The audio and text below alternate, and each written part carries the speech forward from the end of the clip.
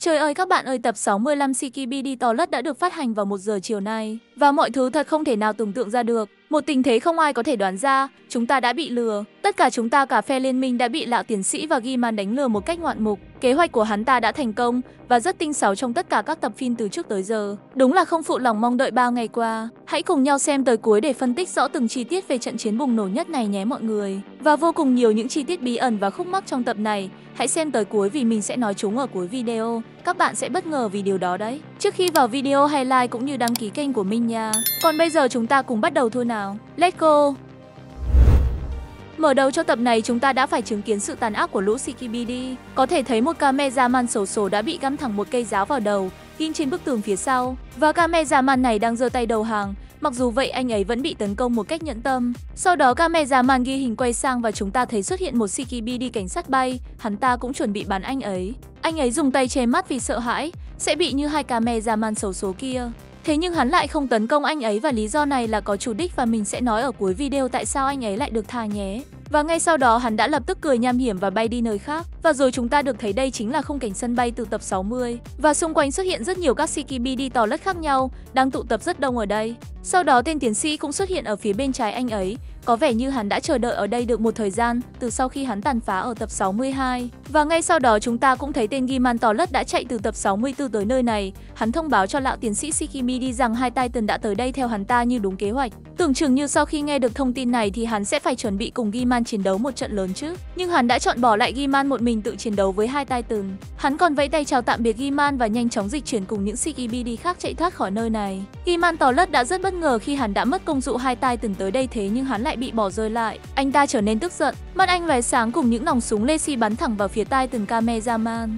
Vậy là con mắt của hắn đã được sửa lại rồi sao? Sau đó tay từng cameraman đã nhanh chóng sử dụng khiên năng lượng đỡ nó. Sau đó tay từng sớ Beckerman bay lên và tấn công bằng những khẩu pháo của mình. Nhưng có vẻ như nó không gây ảnh hưởng nào cho hắn ta cả. Thế nhưng hắn đã bị phân tâm và tạo cơ hội cho tay từng cameraman sử dụng khẩu súng sau nâng cấp của mình bắn thẳng vào đầu hắn, làm vỡ luôn chiếc tai nghe bảo hộ. Chấp lấy thời cơ này ngay lập tức tai từng sở bích cờ man lao tới vào sử dụng sóng âm thanh, hét thẳng vào tai hắn. Thế nhưng hắn vẫn có thể phản kháng và đẩy văng tai từng sở bích cờ man sang một bên và tiếp tục lao thẳng về phía từng cameraman, nhưng anh ấy đã tóm được cái đầu to của hắn ta. Sau đó nhận thấy sơ hở từ bồn chứa nước của Giman to lất. Tay từng sớ Beckerman đã bay lên phía trên bồn và liên tục nhận nút xả. Tưởng chừng như vậy là có thể giết được hắn ta một cách dễ dàng sao. Mọi thứ không dễ như anh ấy nghĩ. Hắn ngay lập tức sử dụng đầu của mình tấn công từng cameraman và quay lại phía tai từng sớ Peckerman. Anh ấy vẫn còn đang cố chấp xả thêm vài nhát nữa cho đã cái tay. Có vẻ như anh ấy đã quên rằng Giman to lất hắn không thể nào bị tiêu diệt bởi cách xạ thông thường, vì trong tập 22 các cameraman đã thử nó một lần và không có tác dụng.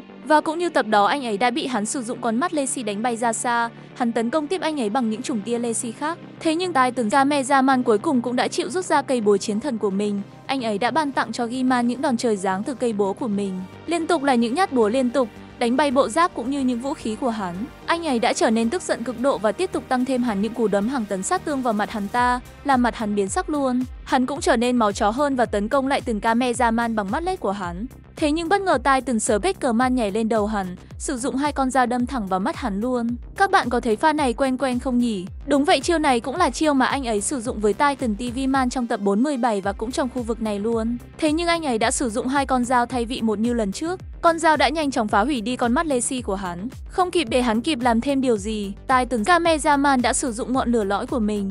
Và lần này nó không như những lần trước đó anh ấy sử dụng nó. Lần này anh ấy đã sử dụng nó với thời gian dài và có vẻ như năng lượng được tạo ra cũng lớn hơn nhưng lần trước. Và ngay sau đây những bất ngờ mới bắt đầu xảy ra. Sau khi hắn bị đốt cháy bởi ngọn lửa đó, sự thật đã được tiết lộ. Họ nhận ra rằng hắn không phải là Giman lất mà hắn là một CKB lất khác đội lốt hắn ta. Và con mắt Lacey cũng được tạo ra bởi một công nghệ Lacey khác. Tưởng chừng như mọi thứ đã kết thúc với Giman Toilet rồi chứ. Nhưng không đó mới chính là kế hoạch của bọn chúng và mọi thứ đã đi đúng như kế hoạch mà chúng tạo ra. Ngay sau khoảnh khắc họ nhận ra họ đã mắc kế, thì ngay lập tức trên bầu trời là rất nhiều những CKBD Toilet cảm tử với số lượng bom hạt nhân lớn. Nhận thấy điều đó, tai từng sở Beckerman đã nhanh chóng thoát khỏi nơi đó. Thế nhưng tai từng Kamezaman thì không được nhanh như vậy. Anh ấy sử dụng tấm khiên năng lượng của mình, hy vọng nó có thể cản lại sát thương khổng lồ này. Một vụ nổ khủng khiếp xảy ra ngay sau đó. Mọi thứ trở nên hỗn loạn sau vụ nổ khủng khiếp mà nó tạo ra. Sau chút ít mọi cũng dần rõ hơn, có thể thấy vụ nổ đã tàn phá ra sao. Mặc dù Titan Speckerman đã nẽ khá xa vụ nổ nhưng anh ấy vẫn chịu chút ảnh hưởng từ nó. Anh ấy đã mất đi một bên pháo của mình. Thế nhưng người chịu ảnh hưởng nhiều nhất đó chỉ có một mình Titan Kamezaman. May thay anh ấy vẫn có thể sống sót qua vụ nổ đó, thế nhưng mọi thứ đã trở nên vô cùng tồi tệ. Anh ấy vẫn đứng dậy được và giơ ngón tay lai về phía Kamezaman ghi hình. Thế nhưng nó đã nhanh chóng thay đổi ngược lại. Sau từng ấy vết thương thì anh ấy làm sao có thể vui được nữa. Có thể thấy anh ấy đã bị thương rất nặng nề, vô cùng tồi tệ. Mọi nâng cấp của anh ấy đã hư hại hoàn toàn, thậm chí một cánh tay của anh ấy đã bị phá hủy. Đây là một tổn thất quá là lớn đối với liên minh. Mọi thứ tiếp theo sẽ như nào? Khi mà người thủ lĩnh của họ đã thành ra như này chứ? Và chúng ta đã kết thúc tập 65 với một tình thế bất ngờ của phe Shikibi đi tò lất. Tưởng chừng như mọi thứ chúng ta nghĩ rằng phe liên minh sẽ chiến thắng, nhưng không mọi thứ chúng ta nghĩ đã bị lừa bởi lũ Shikibi đi tò lất. Sau đây chúng ta sẽ phân tích chi tiết những điều bí ẩn và khúc mắc trong tập này. Đầu tiên là ở đầu video tại sao tên Shikibi đi tò lất cảnh sát kia lại không tiêu diệt ngay cameraman ghi hình. Hắn đã bỏ đi ngay sau đó với một nụ cười nham hiểm. Có vẻ như hắn đã biết trước kết quả này sẽ xảy ra. Và mọi thứ chúng ta biết trong tập 60 rằng các TV man có thể theo dõi họ thông qua các cameraman này. Thì có thể họ cũng đã biết điều đó. Họ muốn cho liên minh thấy họ thất bại thảm hại như nào trong tập này. Điều này sẽ gây ảnh hưởng cho họ rất nhiều. Phải biết rằng với việc Titan Speckerman bị ký sinh, thì mọi thứ đa tệ như nào. Họ đã trở nên yếu đuối và mất phương hướng, thậm chí họ đã phải ẩn nấp để tránh tai họa. May thay có sự lãnh đạo từ tay từng Kamezaman mà họ đã quay trở lại được như hiện giờ. Nhưng mọi thứ còn thậm tệ hơn với thất bại này và với từng ấy tổn hại của tay từng Kamezaman, thì câu hỏi rằng anh ấy bao giờ mới có thể xuất hiện và lãnh đạo trở lại. Phải biết rằng Titan TV Man đã mất tích bao nhiêu lâu với những tổn hại mà anh ấy nhận trong tập 47. Và hiện giờ chúng ta vẫn không có bất kỳ thông tin nào về sự trở lại của anh ta. Vậy thì Titan Kamezaman có thể quay trở lại nhanh chóng thật sự là quá khó khăn. Và các bạn có thể thấy sự yếu kém ra sao của Titan Speckerman trong tập này. Anh ta quá yếu so với một Shikibi đi to lất giả dạng Giman. Anh ta không hề gây ra sát thương nào, Những pha tấn công của anh ấy khiến anh ấy trở thành một trò hề. Nếu như không có tay từng Kamezaman thì anh ấy sẽ thất bại thảm hại như nào nếu đối đầu một một với Giman giả này. Phải nhắc lại là đây là một Giman giả nhà các bạn. Chúng ta chưa nói tới những kẻ mạnh khác, như lão tiến sĩ hay là Giman sẽ trở nên mạnh mẽ ra sao sau các tập tiếp theo. Thật sự đây là một kế hoạch quá hoàn hảo của lũ Shikibi đi to lất tạo ra. Vậy còn những thông điệp từ tập 64, chúng có thể hiện điều gì?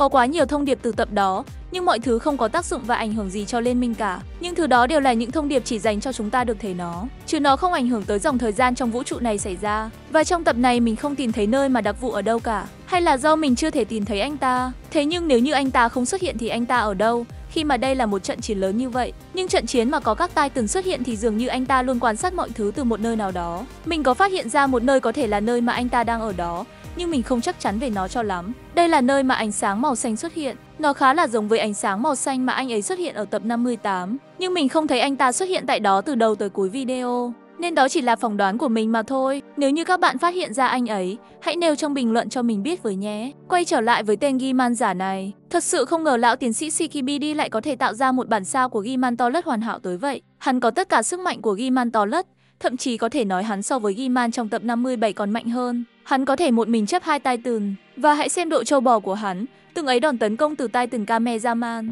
nhưng hắn vẫn sống sót và tấn công lại, không trượt phát nào. Có thể nói công nghệ của Lao tiến sĩ đang ngày một lớn mạnh và khủng khiếp. Mọi thứ sẽ ra sao sau sự thất bại này của liên minh? Chắc chắn bọn CKB đi to lất sẽ tổng tấn công liên minh sau vụ này.